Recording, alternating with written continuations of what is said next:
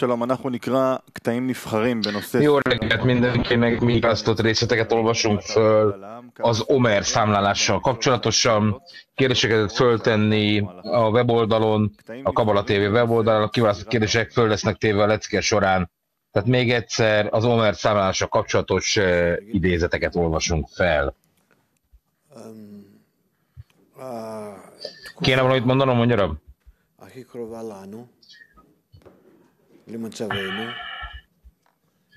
Tehát mi egyre közelebb kerülünk az a periódushoz, ami valóban megfelel a mostani állapotunknak, ami a húsvét eh, előtt kezdődött, aztán jött a húsvét, majd pedig egészen a savoltig tart az az időszak, amiről most beszélünk. Ez egy periódus, amiben szeretnénk lenni, eh, amely most a legközelebb kéne, hogy legyen hozzánk. Ez egy olyan periódus, ahol eh, mindeneket az ember fejlődésre vonatkozva, és fiútás fejlődésre vonatkoztatva valóban közel áll ahhoz, amit szeretnénk elérni. Mi ebben az egyedi? ebben az állapotban. Nem sokára el fogjuk olvasni azokat a részleteket, amiket kiválogattak a számunkra. A Peszákot követő periódus, azaz edények megtisztításáról szólnak, amely a kapni akarásból való kivonulással függ össze. A kapni akarásból való kivonulás kínokkal jár együtt, amelyeket a fáraóra mért a teremtő, amelyen keresztül nagyon komoly kapni akarást tárul fel, és az embernek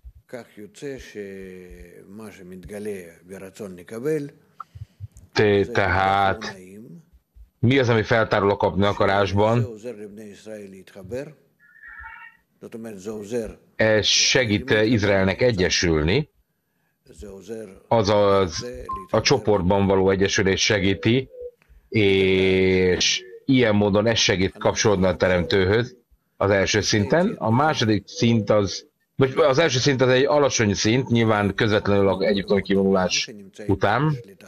Ezt e,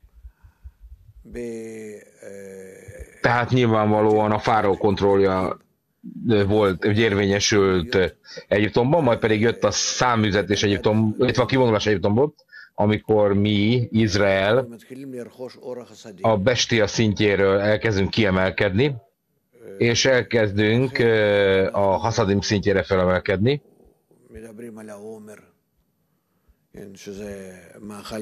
Ezért mi, amikor az Ómer számolásról beszélünk, ez, amit megemlítünk ezzel kapcsolatosan, az a, az a bestiának való étel, ugye itt 49 nap telik el az Omer számlásban, ami 7x7, ami a mi te, tekintetünkben ez a vágy korrekciójáról szól, ahol a haszadén fény teljes egészében illuminál az edények felett. Ez az Omer visszaszámlásnak a lényege, mivel az edénynek a megtisztulása az a legtisztább edények feltárulásával kezdődik vagy folytatódik. Ez egy részleges korrekciót is nyilvánít meg, amely az, az első 33 szfíra a 49-ből, ez az első és legfontosabb része az Omer számlásnak. Ez egy olyan fajta kapcsolat létrehozásáról szól, ami, amely ugye a 33. napon következik be a húsvét után, tehát a Peszaktól a savót az edények megtisztulásáról szól minden. Értelmében, értelemben és szívben képesség kell válnunk, felemelkednünk az ego fölé, de nem csak, hogy fölé emelkedni, mondja Rab, hanem alapvetően az egyetemi kivonulásról beszélünk, amely úgy kell, hogy megjelenjen, hogy a Peszakkal kezdődik, tehát miután mi kiemeljük az edényeket, korrigálnunk is kell ezeket, tehát egyre jobban ki kell töltenünk tudni őket haszadimmal, ez a teremtő ismeretére vonatkozó kegyelmi fényjel, és az akumnak nevezett periódus, amikor valóban az egyetlen kivonulás megelőző bálványimádókból, bálványimádó edényekből fokozatosan a savótig amikor a tórát megszerezik, ezek az edények, eh, elkezdünk kiemelkedni, ezeket az edényeket a szentség fogja áthatni ezekben a napokban, és um, ugye akkor valóban az ember ételévé válik majd a kenyérgabona, ugye így kapjuk meg a, az árvudot, a kölcsönös garanciát, a legnagyobb erejű kapcsolatot egymás között, és a teremtőről kapcsolatnak megfelelően azzal egyezésben a teljes periódus azt súgja nekünk, hogy, hogy egy nagyon egyedű átmenet van az, az, ezekben az állapotokban, ami a kapni akarásban jelenik meg, ha bár, mondja Rav, mi megkísérlünk látszólag erőfeszítéseket tenni, hogy egymás között összekapcsolódjunk, és a teremtős összekapcsolódjunk, ez nem fog működni, ezért hívjuk ezt még mindig az egyiptomi időszaknak, ahol láthatjuk, hogy ez lehetetlen, tehát ezért mi megkérdőjezhetetlenül a fáró hatalma alatt maradunk, tehát amikor megpróbálunk kapcsolódni, de nem sikerül, ez fejeződik ki ebben. Tehát figyeljetek erre oda, hogy milyen fajta állapotról beszélünk, ezt ne felejtsétek el soha. Tehát akarunk kapcsolódni egymáshoz a teremtővel, de képtelenek vagyunk erre, ezért éreznünk kell, hogy számüzetésben vagyunk még. És akkor, amikor valóban megpróbálja valaki azt, hogy kapcsolódjon, de nem tud, akkor szenvedés jut osztályrészül Izraelnek, fölnyúlnak a munkától, Izrael tagjai a teremtőhöz, stb., ahogy ezt a történetből ismerjük, és akkor elkezdünk segítséget kapni felülről, segítséget, amely az egóval szemben jelenik meg, és csapásokat mér az egóra. Mik ezek a csapások? Az utolsó két évben beszéltünk azért erről,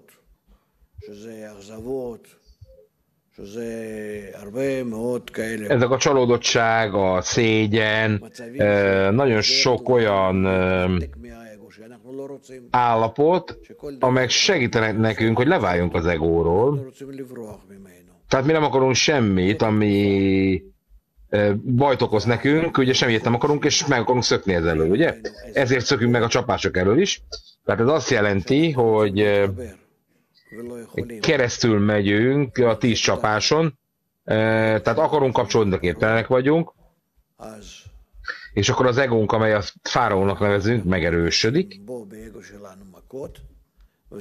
és akkor érezni fogjuk az egónkban a csapásokat, ezek segítenek nekünk kilépni az elutasításból, ahogy felkészítjük magunkat arra, hogy kilépjünk Egyiptomból, a csapások fognak noszolatni hátulról bennünket, aztán pedig fölé kell emelkednünk az egónak, már nem csak menekülnünk kell az őt érő csapások előtt. Ez azt jelenti, hogy edényeket kezdünk el felemelni az egyiptomiak edényei közül, fölé emelve ezeket az edényeket a kapni akarásnak, és akkor megszerzük ezekben az edényekben a hitnek a fényét. Ezekben az edényekben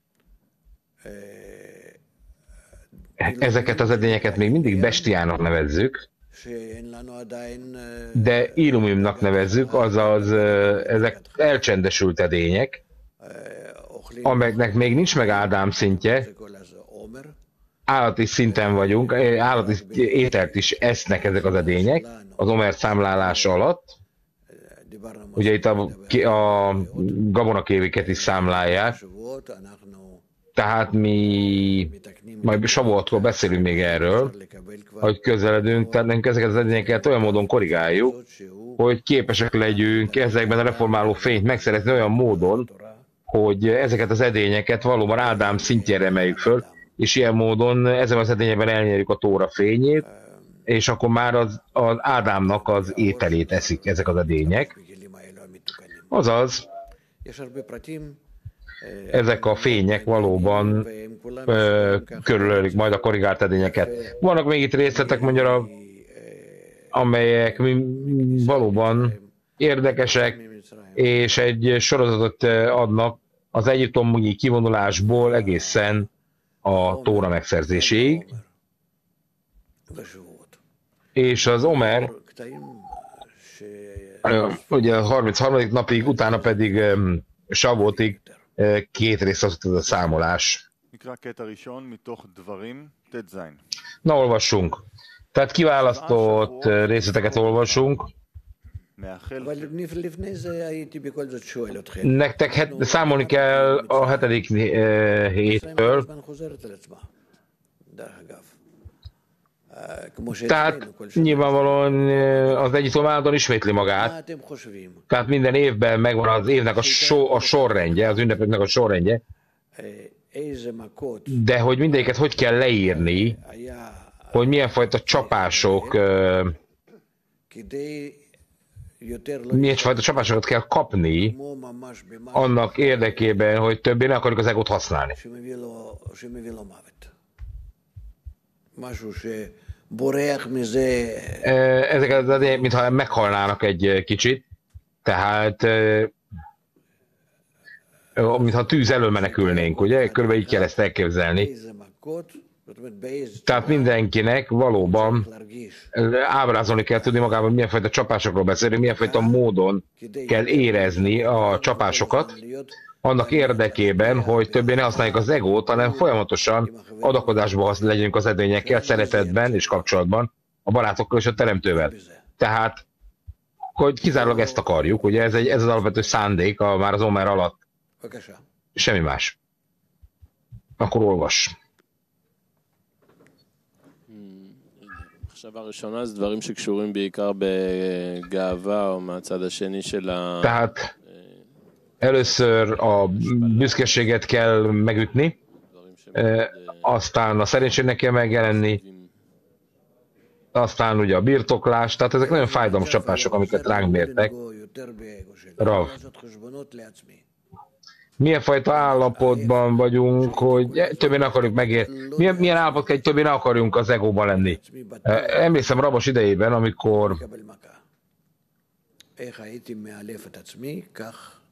mindig azt mondta, hogy nem magammal próbáljuk megszámolni, mert természetesen, természetesen hogy az egóm kapja a, e, az egót, az egó kapja a csapásokat, hát hogyan lehet akkor valamit megtalálni magamban, ami nem az egó, miközben ennek a csapások? Mondja rá. Tehát a srác először is a fáraónak egy nagyon erős állapotáról beszélünk, a büszkeségről, az egyediségérzéséről, ami áthatja az embert, a, a, az ellenőrzésnek a vágyáról, tehát így kaphatjuk meg ezek, ezeket a terheket, amikor látjuk az ellentétességét annak, amit szeretnénk elérni, és sóvárgunk ö, az ellentétes állapotra, azonban nincs más lehetőség, nem tudjuk azt elérni. Tehát nekünk egyfajta תחושה של נטרול מוחלט, שכשאתה מבקש על עצמך, אתה פשוט לא, לא זז, בזמן שהתזוזה היא רק אה, בקשה מחוצה לך. Tehát nyilvánvalóan ez az az idő, amikor az imát kívülre kell vetíteni, magunkon kívül. Nem tudom, hogy a Aimcsökkel. De bocsánat, eret. Tehát fel kell gyorsítani. Aki irányul, azt fölgyorsítom, mondja a teremtő. Tehát nekem a teremtőhöz, a barátokért kell imádkoznom, róluk kell gondoskodnom, és nekem meg kell tartanom a szándékot. Tehát eh, csak a fénykor egyszer kell vágynunk mindenféle csapás nélkül, ez a Torának az útja. Következő film. A csapások, amikor meg kell próbálnom élvezni a teremtőt, de nem a csapásokon keresztül, tehát nem használtam az egómat, mondja a srác, mert különben rögtön érzem a csapásokat. Úgy tűnik nekem, hogy a Harani, hogy egy közvetlen kapcsolat van bizonyos cselekedetünk között, É, tehát a kapcsolatunk vagy a kapcsolatunk hiánya között, és a csapások között, amelyeket ennek eredményeképpen kapunk. Tehát ugyanúgy, mint a tűz elől menekülünk, így kerülünk egyre közelebb az állapothoz, hogy valóban a szégyen állapotából ki tudjunk lépni a megszerzés miatt. Tehát ezért jobb korrigálni, mint az állandóan szembenézni a csapásokkal. Következő srác. Tehát minden lehetőséget meg kell ragadni az adakozásra, egymás irányába, barátok irányába. Egyébként rögtön kiderül, hogy képtelenek vagyunk ezt megtenni, és ha nem tudjuk megtenni, akkor egy finnyos szomorúságot és csapásokat érzünk, és a következő alkalommal nyilván meg kell kapnunk a lehetőséget, arra, hogy a szomorúságból, amit a csapás által éreztünk, ki tudjunk mászni, tehát hogy végső soron ezt a lehetőséget úgy tudjuk megragadni, hogy emelkedni tudjunk ezáltal következő. Hát, hogyha végre cselekedett a barátokkal, a közösségért, tehát mondjuk én mosom az edényeket a, a konyhában, maximális módon próbálok odafigyelni, nem magamért teszem, hanem a közösségért, tehát ezt megélem, és a végén meg kéne, oda kéne jutnunk, hogy rá fog jönni, hogy mégis mindig a büszkeségem jelenik meg, azt érezhet velem, hogy ezt én a saját nagyszerűségem felemisre teszem. Tehát ez a dolog arra vonatkozik, hogy én mennyire tudok adak, aktív adakozásra maradni rá. Oké. Tehát mondjuk mi megkapjuk az egyiptomi csapásokat, leválunk az egónkról, tételezzük fel, akkor most meg kell szereznem edényeket, amelyek fölötte vannak Egyiptomnak, ugye? Na, olvasunk tovább. Az első részlet, amit olvasunk, tehát nekünk hét hetet kell számolni, egész addig, amíg ez, ez alatt az idő alatt a mag nem serjed, nem sarjad aktív szálba, úgyhogy a buza növekedésre van szó, és ilyen módon tudnunk kell, hogy fe, ugye 15 napig számoljuk az időt, egészen a, hetedik szombatig, ugye? És ilyen módon tudjuk az új búzát felajánlani a teremtőnek. Azaz, ez itt a, hogy mindenféle szenvedés, meg a tóra útja, amit leír, hogyan kapcsolódik ezeken a kínokon keresztül a buza növekedéséhez, az egyiptomi számvezetéshez, ugye a belső harcokhoz, a kapcsolatért, stb. Annak érdekében, hogy elnyerjük azt, hogy mi valóban megkapjuk azt a fényt, amit Tórának nevezünk. Ez egy olyan, mint egy naptár, amire itt utal. Tehát ez pontosan azt jelzik ezek a, ezek a leír dolgok, hogy a Tóra milyen módon van elrejtve az időben. Rabastomon a második idézet. A, a Savolt ünnepe, egy megközelítés, ami ahhoz az időszak, amikor megkapjuk a tórát, és ismerte, hogy a sav volt az a malkotnak az állapota, eh, amely az ember szívében lévő állapot, és hogy Bálaszalam elmagyarázza nekünk, eh, a, eh, a hetedik templommal, azaz a hetes szónak az, a szentségét elmagyarázza, amely sebe, amely a, a, a bennem szóra ö, irányoz bennünket. Nevezetesen a teremtő az, amelyik ráöltözik az ember szívére, és ez a jelentés annak, hogy a tóra ráöltözik az ember lelkére, és ilyen módon vetjük ezt Savótnak, és Matan Tórának, az a Tóra átadásának, nevezetesen amikor a Tóra elkezd ráöltözni a szívre Izrael minden, egy, Izrael minden egyes tagjában, és ilyen módon a számolás ide alatt, amely az uh, húsvéttól savótig telik el, tulajdonképpen megtisztítjuk az edényeket, amire ráöltözik a tóra, mind értelemben, mind szívben, tehát liba és moha, és amikor az edény teljessé válik, akkor a tóra állapota teljes egészében feltárul az edényben. Ezért az húsvétot megelőzően az edények megtisztulásáról beszélünk a hit állapotában, amelyet parancsolat állapotának nevezünk, és miközben kivonulunk Egyiptomból, valójában az emunának, a hitnek az állapota jelenik meg, amelyben el van rejt az edényben, amelyben el van rejtve az, hogy az én a ti istenetek vagyok, akik vezet benneket Egyiptomot. Húsvét után pedig a megtisztulás munkáról beszélünk, amikor a tóra megszedése megkezdődik, amikor a tóra valóban az ember lelkére ráöltözik, amely ünnepet Savótnak nevezzük, azaz a tóra megszerzési idejének a kezdetének, ugye ez a Savót szó. Akkor beszéljünk arról az állapotról, amit itt leír, tehát a Peszak előtt, aztán a Peszak után, amely a, az Omernek a korrekciója, és ez elvezet bennünket a tóra átadásáig, a Savotig.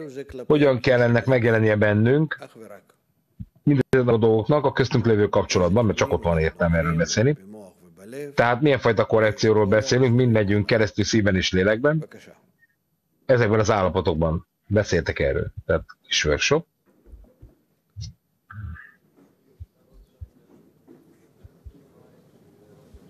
אני לא יודע איזה תיקונים אנחנו עוברים בשלבים האלה. לא יודע, נשמע מה החברים אומרים, אולי אני אדע. Tehát, hogy milyen korrekción megyünk keresztül.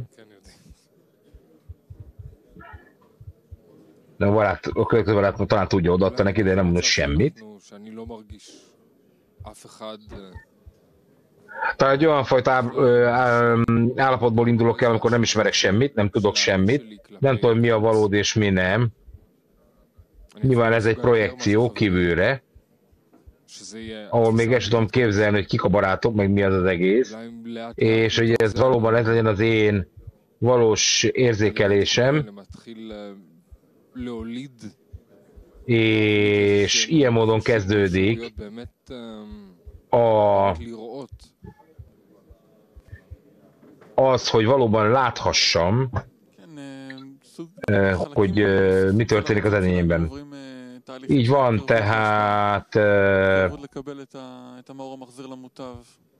így kerülünk közelebb az adakozáshoz, hogy megkapjuk a reformáló fényt. Tehát Sabotkor való, a Sabot valóban fel van osztva arra a pontra, amikor az ego növekszik, inflálódik, tehát érezzünk, hogy hogy vonulunk ki az egóból, המסע במדבר לעבר אה, אותו אה, מתן תורה. tehát ilyen módon kezdődik a tóra átadása, tehát ez valóban ez csak a mi vágyainkban történik meg, amelyek közelebb visznek bennünket a Teremtőhöz. והכל זה תפילה לא עליך. Ez mind az imáról szól, אתה בעשירייה, tehát hogy nem magunkról beszélünk, tehát a kérdés az, hogy hol vagyunk, a tízes körben, vagy a százban, vagy az ezerben, tehát valóban, ונמשוך המאור. vagy a tízezerben, tehát milyen méden kezdünk el a fényhez kapcsolódni, mert már ráöltözött az edényünkre. Tehát az edény megtisztulásra függ, és ilyen módon elnyerem a savodnak az ünnepét. Ahol a teljes sokma fényét megkapom. Tehát a szándék, amikor valóban elkezdődik a vágyainak az átmosása, tehát ilyen módon jelenik meg a kapcsolat egymás között. Így kezdjük el érezni mindazt, ami átáramlik rajtunk. Tehát ez a Pészáknak és a mm, Savodnak az ünnepe, amelyen összekapcsolódik az öméren keresztül. És nyilvánvalóan az ego egyre több csapást kapott, erről beszéltünk már a múlt hét óta. Ez a vonulásnak a kezdete. És hogy arra tekintsünk, aki a csapásokat osztja felénk, tehát így kell új edényeket kiépíteni, valami kölcsönös alakul közöttünk, amely a kitöltésnek, a kölcsönös kitöltésnek a megszerzéséről is szól. Így van, tehát a húsvét alatt és a húsvét után az edényeket készítjük fel, Először nő a, a, a vágy, arról le kell válnunk, és az Omer korrekció pedig azt jelenti, hogy mi korrigáljuk az, ad, az adokozási edényeket az adokozás érdekében, és aztán majd a tóra megszerzésekor már korrigált edényünk van, amiben meg tudjuk kapni a fényeket. Így van, tehát az egyiptomi srác Egyiptomban valóban a teremtő segítségének kell, hogy megérezzük először, hogy mennyire szükségünk van, hogy nem tudunk egyedül dolgozni, szükségünk van a teremtőre. Olvassuk tovább, עומר, a rabastól, מעלמים עלומים, שהוא בחינת קשר. az Omer számolás, צריך להשתדל a, a bárányok összegyűjtése tulajdonképpen, ami a kapcsolatra utal, az emberek meg kell kísérelnie ספיר a kapcsolat kiépíteni maga között és a teremtő között, hogy a teremtő נקרא בחינת ö, ragyogjon, ö, mint az, ö, az ember fölött, mint a gyémántnak a fénye. Ez azt jelenti, hogy hat napig cselekedni kell, aztán jön a hetedik nap az, a, a szombat, a savat. Ez az, ami összegyűjti a, az eredményeit a szféráknak. Ez az, amikor föl kell kínálni magunkat a teremtőnek, az egész életünket, az életünk minden napját, amely 70 év. És a titka ennek, hogy merre kell irányozni, hogy mindannyian, mindenki a tíz firában befoglaltatva, és azáltal, hogy korrigáljuk ezt a kapcsolatot, amelyet az Omer aspektusának nevezünk, akkor elnyerjük a Tórának a minőségét ebben a kapcsolatban, ami a szabadság a halál angyalától. Ezt a bölcseink mondják, hogy ne harutnak kell ejteni, hogy bevéste, hanem herutnak, szabadságnak, ugye? És amikor kilépünk a, a szándékok rabságából a tóra szabadságába, akkor az embernek csak a teremtőhöz kell fordulnia, és akkor az ember, amikor elválasztásban volt, azt az ember azt a bálványimádás állapotában lévő emberek nevezzük, a Tórát pedig kizárólag Izrael tagjai szerezhetik meg, amiről mondva van, hogy egyetlen más nemzet nem tudta odaadni a teremtő, hiszen ők nem tudták fektartani a teremtő törvényeit, mivel a Tórát úgy is nevezzük, hogy mispát, ítéletek, és matana, azaz ajándék, azaz, ez pedig kizárólag Izraelnek lett átadva, és ezért mondjuk, hogy Izrael kizárólag akkor tudta ezt megszerezni, amikor összekapcsolódott egymással. Még egyszer olvassuk. Tehát az Omer a, a bárányok ö, ö, gyülekezette, amely kapcsolatra utal, amikor az embernek valami meg kell kísérelnie, a kapcsolatot kiépíteni maga és a teremtők között, amely egy ragyogás jelent, a, a gyémánt fényű ragyogást, és ez pedig valóban hat napig kell cselekedni, és jön a hetedik nap, amely a hetedik szféra, a szombat, és ilyen módon a szférák kapcsolatán keresztül kell magunkat teljes egészen a teremtőhöz kötni, az életünk minden napján keresztül, amely 70 évnek felel meg, és az irányultsága ennek pedig az, hogy mindannyian minden szférát összekapcsoljunk, és minden szféra tíz szférát tartalmaz. Azáltal, hogy ezt a kapcsolatot létrehozzuk, és ebben összekötődünk, ez az Omer számlásnak felel meg, amikor elnyerhetjük a torának a minőségeit az edényeinkben, amely a szabadságnak a minősége a halálangyalától. Ahogy ezt a bölcseink mondják, nem úgy kell olvasni az írást, hogy Herut, a bevéses, hanem Herut, szabadság, amikor azt jelenti, hogy kilépünk a szándékok rabságából, és belépünk a tóra szabadságába. És ez pedig kizárólag a kapcsolattól függ, amit az ember kiépít a teremtővel, és abban az időben, amikor az ember az elválasztást érzi, még az ember úgy tekintető, mint egy báványimádó állapot, és a Tóra pedig kizárólag Izraelnek lett átadva, ahogy mondva van, hogy a nemzetek közöttök ne vesszenek el, és hogy ne érezzék az ő ítéletét, mert a Tórát úgy is nevezzük, hogy az ítéleteknek az aspektus és egy ajándék, amely kizárólag Izraelnek lett átadva, és őt Izraelnek nevezzük, amely kizárólag arra az időszakra vonatkozik, hogy ők valóban a teremtőhöz voltak kapcsolva. Tehát van három szint itt magyarul אה, A goly szintje, אחר כך אה, amely a nemzetek, világ nemzeteinek a szintje. מתארת את- שמאדם מתארת את Aztán van a szent állatnak a szintje, אדם. איך amikor valaki megtisztítja önmagát, és Ádámnak a szintje, מצבים. hogyan megyünk mi keresztül ezen a, ezeken a dolgokon, milyen állapotok ö, azok, amelyeket így nevezünk el, beszéltek erről kicsit. אפשר ל- לחזור על התשובה הקודמת שלי. ez elmetszínű, de... Tehát az, el, az előzőleg adott válaszomat tudom csak megismételni, én nem tudom milyen állapot ez. Ezek olyan állapotok, amelyek kapcsolatot jelzik közöttünk, és, a, és tehát nyilván az a kapcsolatra irányulnak, amelyek köztünk alakulnak ki. Talán a goly az egy olyan ember, aki nem érzi a szükségességét a kapcsolatnak, és a szent állat az pedig már tudja, hogy van a kapcsolat, de még nem érzi azt hogy ez hogyan alakult, tehát ez, hogy ez a cél, nem érzi még, hogy ez a cél, és hogy ezzel tudja magát szentséggel láthatni, és a beszélő szint, vagy a végső szint, az pedig a kapcsolaton keresztül érhető el.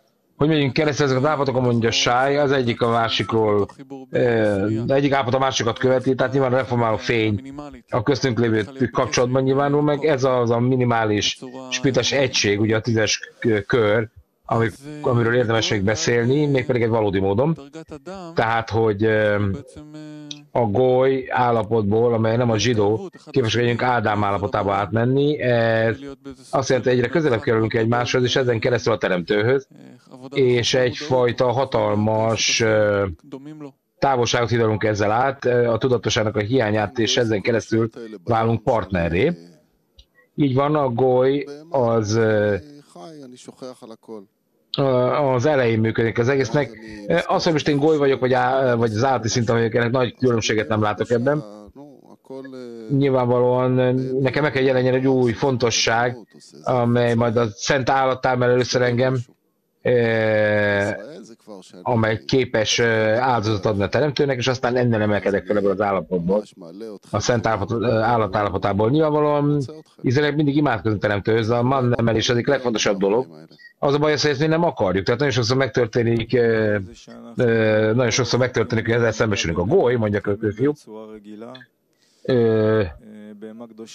a köztünk lévő kapcsolat fontosságra utál, mert a, a, a, a titkos belső állat, amely a szent állat, az már a köztünk lévő kapcsolatban nyilvánul meg, amikor valóban látjuk, hogy a teremtő fénye ragyog e fölött az állat fölött. Izrael pedig akkor jelenik meg bennünk, amikor látjuk, hogy a teremtő eléréséhez egyszerűen emberként is összekapcsolódunk.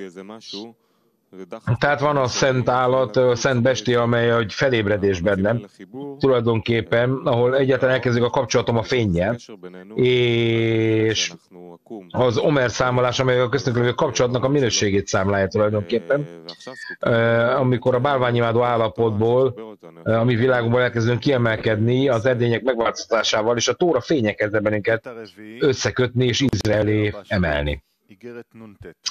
A negyedik részletből, amikor Rabast... Ja, ezt olvasok meg, bocsánat. A 15-ös levél Rabastól. A Omer számlással kapcsolatosan ismert, hogy az ember munkának a lényege, hogy önmagát a teremtőhöz kapcsolja. Az Omer, a melemim alumim, azaz a bárányok összekapcsolódása állapotából Rasbi elmagyarázza a számunkra, hogy hogy az ember elhalkul, és nem nyitja ki a számát, a száját semmilyen a teremtőre irányuló követelésre, hanem bármit ad a, a, a kegyelmes, azt jó munkának tekinti, azaz aláveti magát a munkának, az az ő gondolatainak, a svágyainak kizárólag a mennyekre kell irányulnia. Ezt nevezzük Omerrel.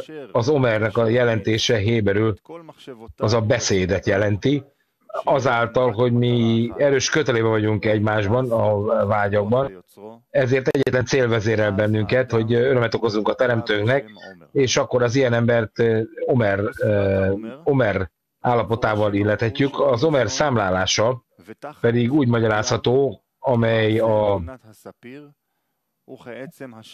amely a ragyogó, eh, a gyémánt ragyogású fényeket adja a szent állatok elé eledelül, amely az emberben megjelennek. Ezért az embernek akkor ebben az állapotban, az Omer állapotában a teremtőhöz kell kötnie, és ezáltal a teremtett lény elnyeri a teremtőnek a ragyogását önmaga felett, és ebből következik, hogy az ember vagy Omerré válik, azaz olyan beszélővé, aki egyetlen ö, ok tart össze a többiekkel, a mennyek érdekében való munka, és akkor az Omernek a fénye ragyogni kezd az ember fölött. Ez a Omer számításnak a titka, amikor az ember fölött a teremtőnek a fénye kezd el ragyogni, az összekapcsolódott emberek együtt, és, és ugye ez eh, hét minőséget tartalmaz, amelyet a teremtőért kell korrigálni, és van egy szabály, hogy minden egyes minőség valóban másik minőséget foglal magába, ezért ki fog derülni, hogy 7x7 az 49, ami 49 napnak felel meg, ezért számolunk mi 49 napig az Omerben, egészen addig, amíg a Tórát meg nem szerezzük. Mivel az Omer a, a, az alig szóból is származik, ami azt jelenti, hogy a Saurimból, azaz az alig szóból származik az a tény, hogy az emberek el kell képzelni, hogy a szívét átadja a teremtőnek, ami nagyon nehéz, tehát, tehát ez jelenti azt, hogy az Zohár mondja, hogy az ember, hogy a léleknek a férje a kapukon dörömből, az az embernek a szívében kell éreznie a teremtőnek a fényeit, hogy az ö, benne akar lakozni az ember szívében. Ezt nevezzük a hit állapotának, és amikor az ember elnyeri a teremtőbe vetett hitjét, ezt tekinteti úgy, hogy ő a besteljes állapotból elkezd kilépni. Először az Omer számolás alatt az ember ételét kell elkezdeni enni az állatnak, amelyel elnyerheti a Tóra ismeretét, és Savuotkor pedig, amely az öt könyvnek az ünnepe, amikor megkapjuk a Tórát, akkor megkapjuk a Tórának az ismereteit is, és ezért egy, egy állatot adunk, egy áldozatot tartunk, amikor a, feláldozzuk a búzát, amely valóban az embernek az eledele már, ez a Tóra aspektusára irányul, azaz a beszélő szintre, amely pedig a bestiának az, állat, a, az állatnak a, az áldozatát is jelenti, azaz a, azt, az, azt a szintet, amely még nem tud beszélni, az állatnak a szintjét, az nem a beszélő szint, csak a tóra elnyerése után jön el a beszédnek az, az értelmezési lehetősége az emberben, ami megfelel az Omer szónak. Elolvassuk még egyszer, mondja? Már beszéltünk erről, amiről itt olvasunk. Még egyszer. Olvassuk el még egyszer. Tehát az Omer számlása kapcsolatosan ismert, hogy a, az ember munkájának a lényege, hogy önmagát a teremtőhöz kösse. Az Omer szó a melemű alumínból, azaz a, azaz a, a bárányok kapcsolatára utal, ez pedig Rasbi szerint az egymásra való kötelékben kell megtalálnunk. Az az ember ilyen módon abból az állapotból, amikor nem szabad semmit a teremtő felé követelni, ez a csendesség állapota, minden munkát, amit az ember elvégez, a, a kegyelmes, kegyelmes Istenért, az egy jó munka, az az embernek a gondolatait, a vágyait alá kell a mennyek érdekének, és akkor az Omer állapotába kerül, amely a beszélő állapot, azáltal, hogy összekapcsolódik, és egy erős kötelékbe lép az ember. Minden gondot és minden vágyával a többiekkel, és egyetlen cél vezéli ezeket, hogy örömet okozzanak a teremtőnek, akkor az embereket, akik ebben kapcsolatban megjelennek, Omernek nevezzük, és az Omer számlálás, az pedig úgy magyarázható, hogy hogy a szfíráknak a fehér ragyogása a mennyekből elkezdi a tisztátalanságot megtisztítani azáltal, hogy az ember önmagát a teremtőhöz köti, az ember elnyeri a, a teremtő fényének a ragyogását az edényeiben. Ebből kifolyólag az ember, amikor az omerré válik az ember, azáltal, hogy minden vágyát egyetlen céllal a mennyek érdekében munka, munkában összekapcsolja, akkor az Omernek a fénye elkezd ragyogni, a beszélőnek a fénye elkezd ragyogni felettük. Ez az Omer számosok a lényege, amikor az ember képes megszámlálni a teremtő ragyogását, és ahogy a zsidó hét minőséget tartalmaz, ezeket kell korrigálni, tehát minden a teremtő érdekében, és van egy szabály, hogy minden egyes minőségben vele van forradva még a többi minőség, ez ki fog derülni, hogy 7x7 az 49, Na meg kiadja a 49 napot, ezért számlálunk 49 napig, amíg meg nem kapjuk a tórát. Mivel az Omer, az a Seorimból, azaz a, az alig és a hordozó szóból származik, ami azt jelenti, hogy az ember valóban el, el kell képzelnie azt, hogy a szívét a teremtő nagyszerűségének szenteli, ahogy az Zohár elmagyarázza nekünk abban a versben, hogy a lélek felesi, férje a kapukon dörömből, az Oár pedig mondja, hogy mindenkinek valóban annak megfelelően tud mindenkünk kilépni magából, amennyire a szívét a teremtőnek tudja ajándékozni, mert annak a szívében a teremtő lakozni, foglalkozni, ezt hívjuk a hit erejének, és amikor az ember feltárja a teremtő vetett hitét, ez úgy tekintető, hogy valóban a, e, először a bestes állapotból indul, ezért a, az Omernek a lényege, az a, az a e, bestiális állatnak az etetésével kezdődik, amikor még nincsen semmilyen ismeret az embernek a tóráról. Savótkor azonban, amikor elnyerjük a tóra. megszerzését, akkor megkapjuk a tórára irányuló ismeretet is, és akkor egy e, búzát áldozunk a az emberi ételér, a fényér, és miután elnyerjük a tórának a fényeit, amely a beszélő szinthez tartozik, ez úgy tekintető, hogy ö, ö, ajándékot adhatunk a, a besti által eddig evett ételéből, a búzából, amely a, a az elcsendesülés szóval is összekapcsolódik, vagy az állatra utal, aki nem tud beszélni, és csak a tóra elnyerésével lehet a beszélő szint elnyeréséről is beszélni. Kérdezzetek magyarabb, lehet, hogy egyszerűbb lenne, hogy ezt valóban megértsük. Tehát tudjuk, hogy a bestia az, aki, akinek el kell kezdeni hinni a teremtőben. Így van, mert a haszadén fénye még nem tárult föl, tehát nincsen pech, nincs száj. Ugye? Tehát nem jelent még meg a száj, ezért nem tud beszélni a parcuk. Oké, na de hol kezdődik a munka? Tehát mielőtt Ádám megjelenne, egy bestiális szinten vagy, nincs mesét, nincs mese, és itt kell kezdened a tóra megszerzéséhez való utat, csak a bestet tudja elkezdeni. Oké, na de hogy lehet azt mondja a, a srác, hogy a, a, a, hogyha ezért kell felkészülnöd egy részben legalább, hogy képes legyen a munkát elkezdeni. Tehát miért Egyiptomba bekerültél volna, mi a goly állapotról beszélünk, ahol tíz teljes mértékben a kapnakarás uralma alatt van, a kazedények, jönnek a csapások, ahogy tanuljuk, és akkor mi elkezdjük a kapnakarást állandóan megítélni, tehát, hogy felgyorsítsam az időt, vagy benne maradjak a beítóban. De eljutunk egy olyan állapotba, amikor mi valóban a kapnakarás föl akarunk emelkedni bármilyen áron, el akarjuk engedni, le akarunk róla válni, és ha ez nem lenne elegendő, akkor még több csapásokat kapunk, amelyek amelyeket az egyiptomi mesében olvashatunk. Tehát ezek a csapások nem, nem azért vannak, hogy én a, csak megszökjek a, a csapások elől, és ezért vonulok ki Egyiptomból.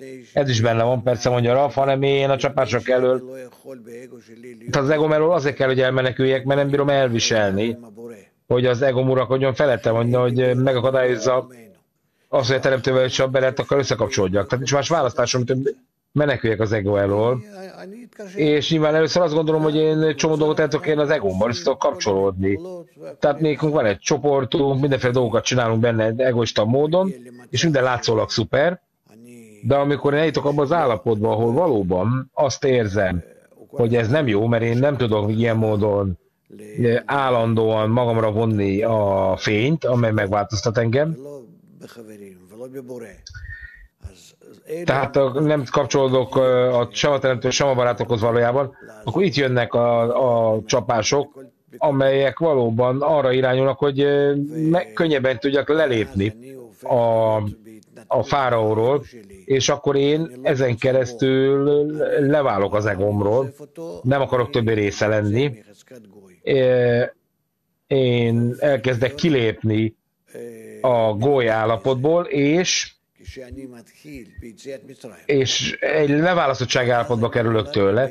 Nyilvánvalóan ez az együttoni számvezetésnek egy fontos pontja, mert így megszületik bennem a tiszta, a tiszta belső állat, a szent állat, ami ami a tisztátalan állatból születik. Van, aki ezt így is írja le, hogy a tisztátalan állatból tisztátalan válik, de most lényegtelen az átmenet. A tiszta állatot nevezzük a, a, amikor ennek az étele ö, tiszta búza lesz, ugye? Tehát állati ételt teszik, amely nekem megadja azt a lehetőséget, hogy fölé, fölé emelkedjek a kapnakarásomnak. Miben? Tehát minden egyes alkalommal egy hatalmas vágyat kell éreznem, minden egyes nap, ez kell, hogy feltáruljon arra, hogy megértsem, hogy nem beszélhetek, tehát nem itt még azonban nem akarok felemelkedni a teremtőhöz, és nem akarok dumálni a teremtőhöz, nem akarok követelni tőle semmit, ugye? Tehát nincs szám, ugye? Ezt tudjuk még. És egyetlen egy dolgot kérek magamban, hogy mi az, ami föl, mert azt tudom, hogy mi fölé akarok emelkedni, és ilyen módon szerzem meg a hitnek az állapotát, a, haszadimot, a kegyelmet, és akkor ennek megfelelően tudom folytatni az utat a tóra megszerzéséig, amikor valóban a haszadim teljes korrekcióját teljesé tudom tenni, az én belső állatom meg tudja tenni a dolgát ilyen módon, és én pedig ugye nem tudok összekapcsolódni, ez azt jelenti, hogy a csoporton keresztül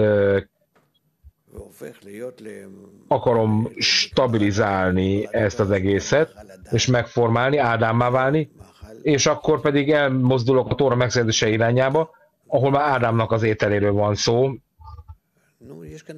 amely valóban ö, ö, már kenyeret eszik, és ö, tehát a búzának a belsejét, és nem a magot, és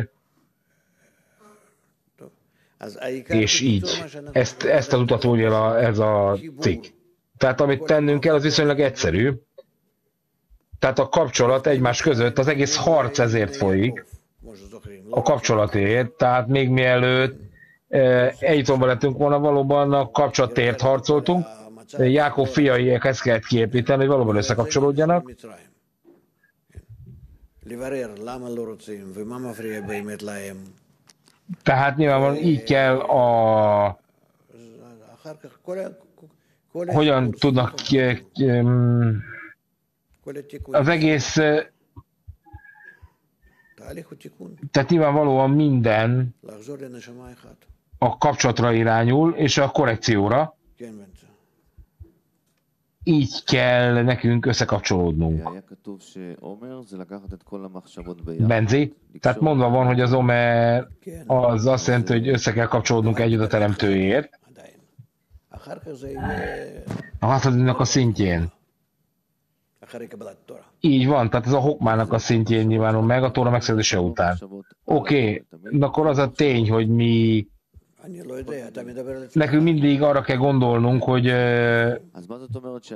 nem te most magadról beszélsz, nem? Igen, én magamról beszélek. Mit jelent az, hogy én minden gondolatot meg kell ragadnom, össze kell gyűjtenem, és nekem transformálni ezeket a gondolatokat. Először a, az áll, a szent állatnak az ételévé. Én nem tudom, most miről beszélsz. Tehát nyilvánvalóan itt mind a kapcsolatra irányul, tehát mindez, amit mondasz, arról nem érdemes beszélni. Lehet, hogy az okosak jobban összerakják, mint amit Arabas leírt. Én egy, dolgot tudok, nekünk a kapcsolati pontot kell megtalálnunk a vágyainkban, amikor egynek, egy, egyé tudunk összeolvadni a vágyakban. Ez a lényeg. Tehát mint Egyiptom megelőzően, Egyiptom után, Egyiptomban, tehát amikor mi pontosan le tudjuk ellenőrizni és látni tudjuk, hogy mennyire vagyunk ebben az állapotban, vagy mennyire nem vagyunk ebben az állapotban. És idővel magyarab, mindenkinek ellenőriznie kell.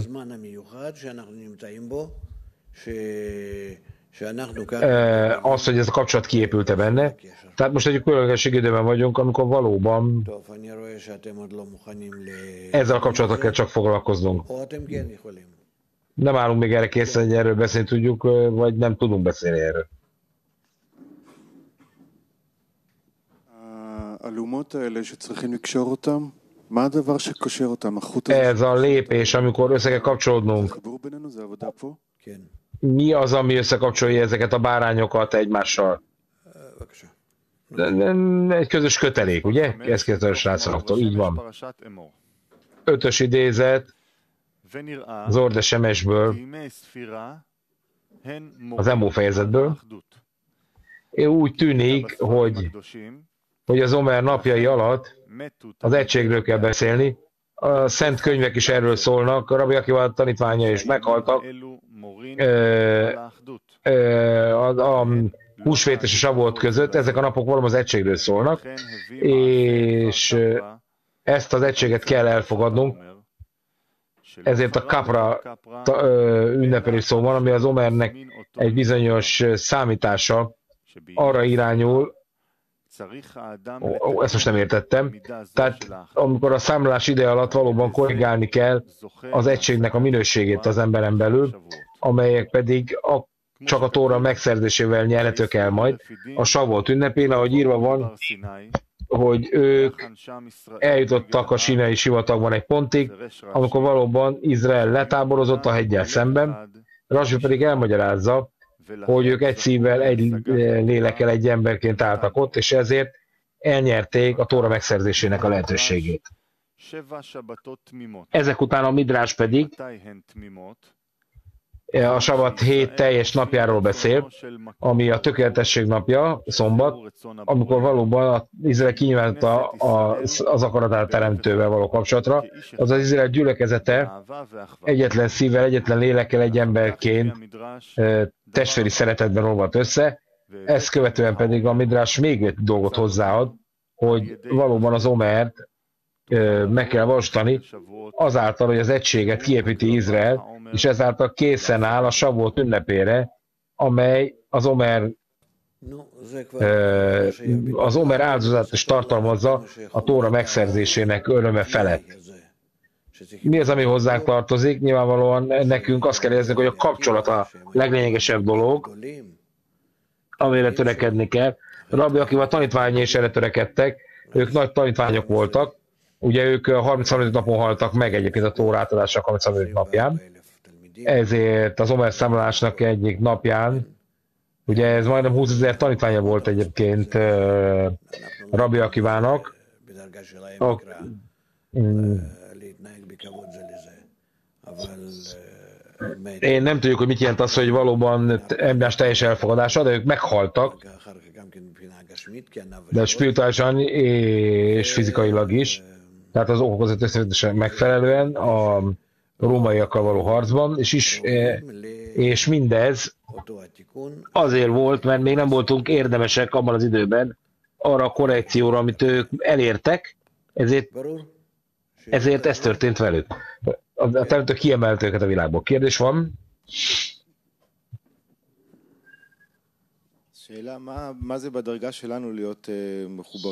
A kérdésem az, hogy mi a mi szintünk, eh, mit kell tennünk, hogy valóban ilyen módon tudjuk összekapcsolódni mással. Ugye itt van egy csomó feltétel, amit ön elmondott. Mi az, amit most nekünk tenni kell, ami különleges ebben a dologban a számunk? לכל אדם מתגלה הרצון לקבל במידה שהוא צריך לתקנו.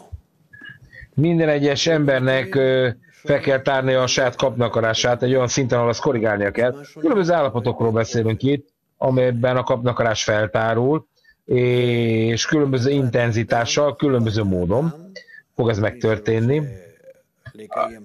Az embernek egy belső elkötelezettséget jelent ez, azoknak, akik valóban meg akarják vizsgálni a tórát.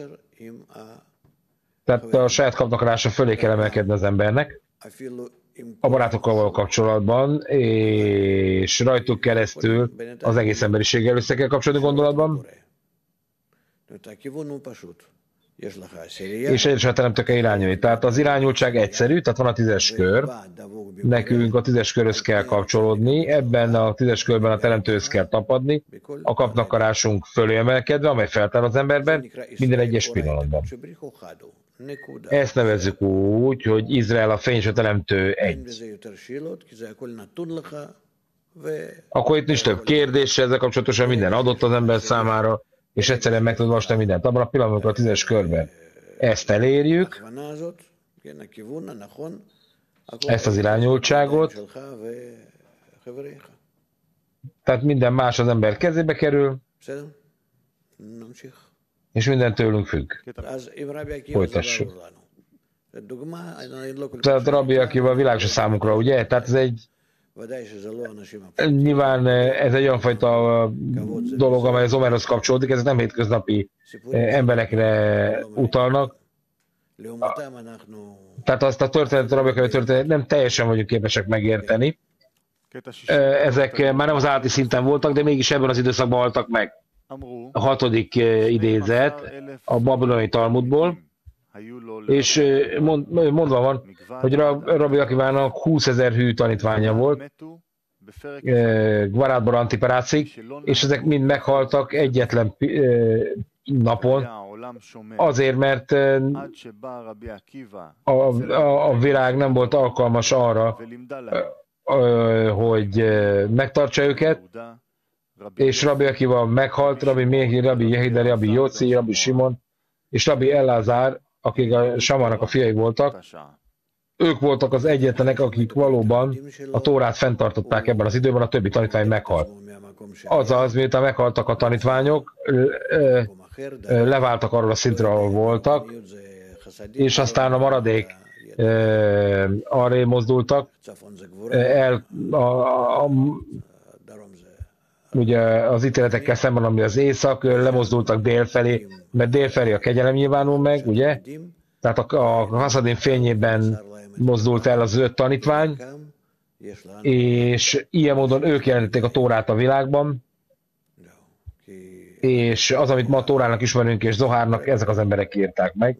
Mivel Rabbi Akiva valóban az egész Tórát tanította nekik, ez az öt ember megkapta a Tóra teljességét Rabbi Akivától, és átadta nekünk a Tórának a módszerét, ők tartották fönn, és az egyik ezek közül, az öt ember közül Rabbi Simon Bar Yohai volt az Ohár szerzője. Van még kérdés? Nincs. Mit akartok? Hogy kérdez? Rav.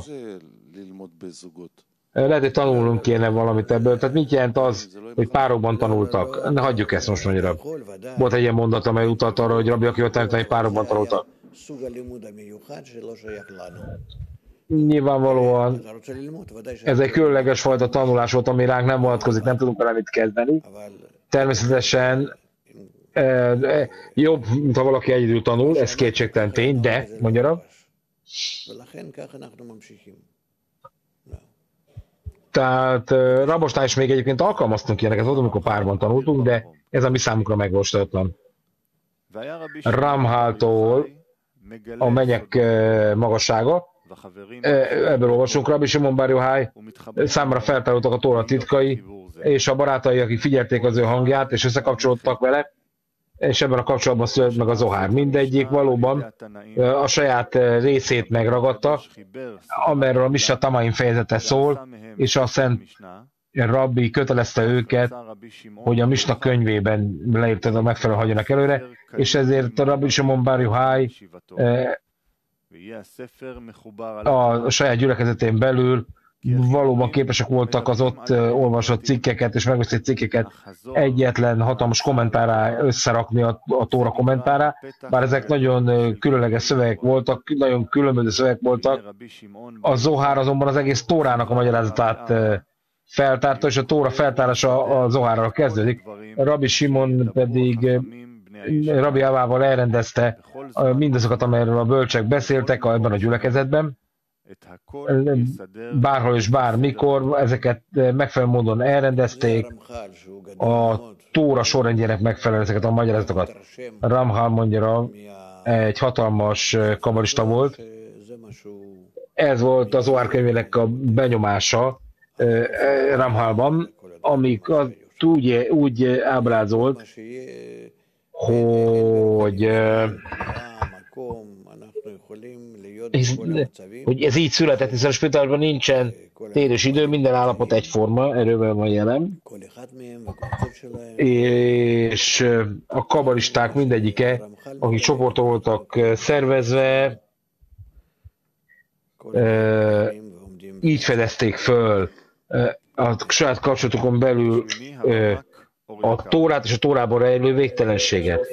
Nyolcas idézet, az Orjakában az az a, a, a fény dicsősége. Tehát ebben ö, láthatjuk, eb- ebben a műben Mózesnek az erejét a Tórában. Tehát mivel ők valóban a Tórával foglalkoztak, akkor megértették a belefoglalt fényt, hogy mekkora fény van ebben a műben, és akkor a szentség ragyogott rajtuk, pontosan úgy, mint az idők kezdetén, és amikor ők valóban foglalkoztak a Tórával, ugyanazt az előnyt nyerték el, ugyanazt a korai fényt, amit Rabbi Shimon Bar Yochai és a barátai nyertek el, miközben írták a saját munkájukat a Zohár, a Tórához magyarázatként. Ez a legfontosabb dolog, magyarul. Tehát, hogy az a fény, amit Rabbi Simonék elértek a saját barátaikkal, nyilván a saját kapcsolatukban, tehát mindenki, aki ezzel foglalkozik, meg ugyanezt a fényt tudja megragadni. 9-es idézet a Zohár könyvéből, amikor ők felemelkedtek, és akkor a tanítványok valóban felemelkedtek milliószorosan az égbolt a fölé, és e- rögtön kiderült, hogy aki valóban az Zohár könyvének a ragyogását meg tudja ragadni, ugyanígy a, mennyek, a különböző mennyek fölé tud emelkedni ezáltal. נעבור לחלק הבא של השיעור.